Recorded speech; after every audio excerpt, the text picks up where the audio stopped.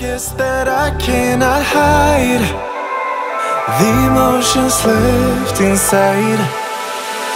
I need to stop reminiscing. I still wanna make you feel alright when I'm not.